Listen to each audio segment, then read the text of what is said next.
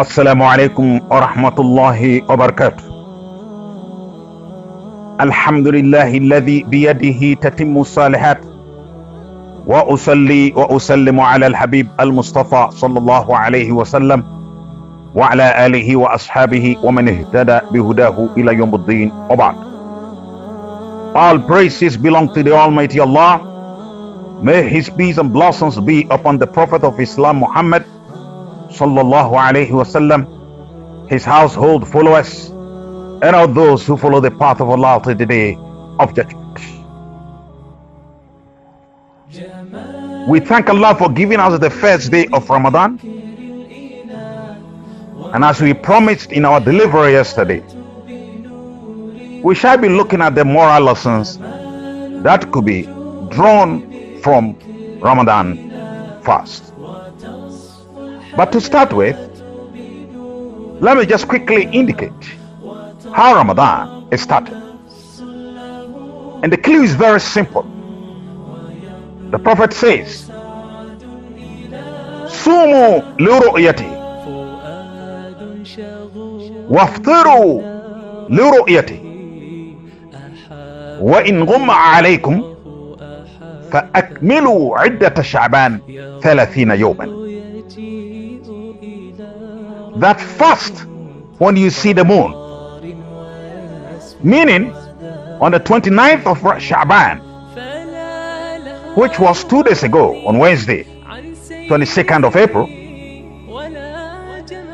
as per the instructions of the Prophet Muhammad we just have to search for the sighting of the moon. The Prophet said if we are unable to sight the moon because of bad weather then we should count Shaban 30 days, which was yesterday. So today has signaled the beginning of this great month. This particular month, once it started, and we shouldn't forget it started yesterday night with the Taraweeh, and it is going to continue for the next 29 or 30 days. It is a great month. It is a month of hope. It is a month of compassion.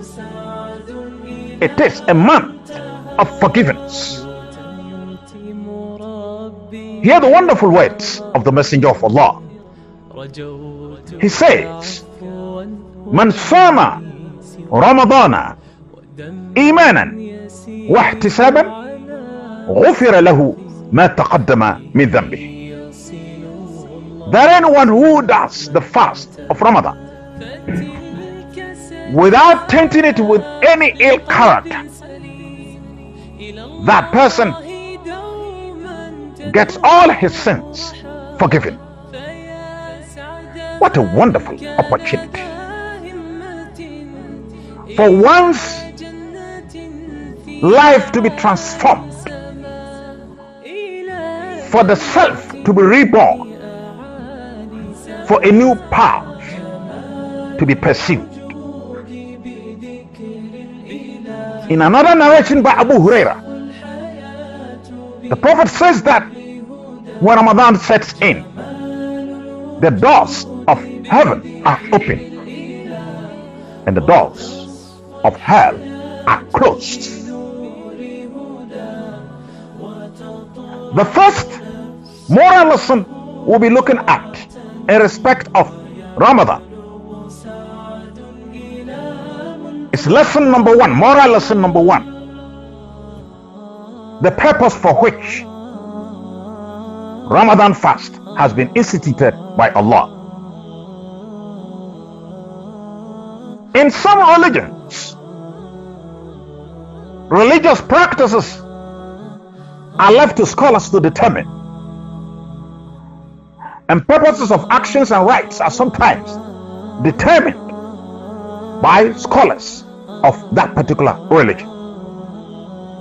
Islam is not like that. When the Prophet of Islam gave out his farewell sermon on the mountain of Rahmah, on the land of Arafah, He directed Muslims to hold on to the Quran and his Sunnah, that is his utterances and practices. Consequently, the institution of Ramadan is a divine one and its purpose has been determined by the Creator Himself. Just humbly listen to the words of Allah. In Quran chapter 3, verse 180, Quran chapter 2, verse 183. Just reflect on the words used by the Creator. And He says, يا أيها الذين آمنوا كتب عليكم الصيام كما كتب على الذين من قبلكم لعلكم تتقون that fasting has been made incumbent upon you as it was made so for those who lived before you so that you will acquire the fear of Allah in another linguistic dimension of the expression لعلكم تتقون is to get or to attain closeness to Allah. And of course, piety is implied. because if one attains closeness to Allah, it means the person has a taqwa. In lesson number one, we'll be looking at the meaning of a taqwa. The root of that word, a taqwa, is al-wiqaya. That is to protect oneself from something. And Imam Mustafa Rafi says that a taqwa in, this, in its linguistic sense means an effort to create a barrier between you and the hell or the punishment of Allah. Imam Ali bin Abi Talib insightfully defines a taqwa, the fear of Allah, in the following manner. And he says, Al khawfu min al jaleel, to fear the Almighty.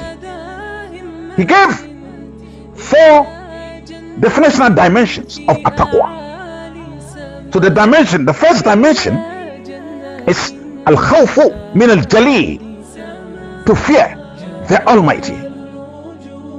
The second dimension, he says, is what tasdiqu bitanzil to believe in the revelation of the Quran.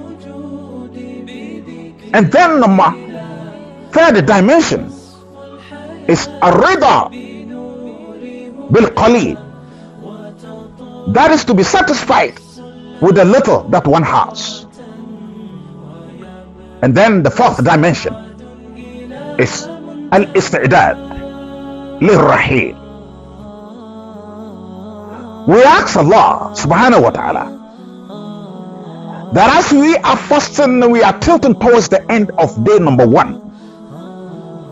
We ask Allah to shower His blessings on our hearts, to shower His blessings on our spirits, to shower his blessings on our minds.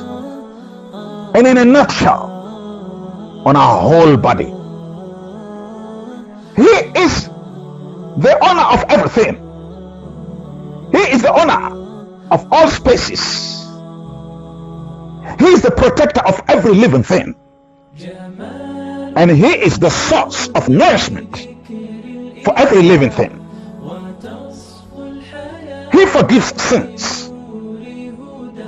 He shows his compassion in a manner that he wishes. And therefore we ask him to bless every day of this month for us. To help us use every moment in this month to do acts that will bring us closer to him. We wish you best Ramadan number one and we shall continue with explanation on the meaning of a taqwa tomorrow by His grace and power. Assalamu alaikum wa rahmatullahi wa barakatuh.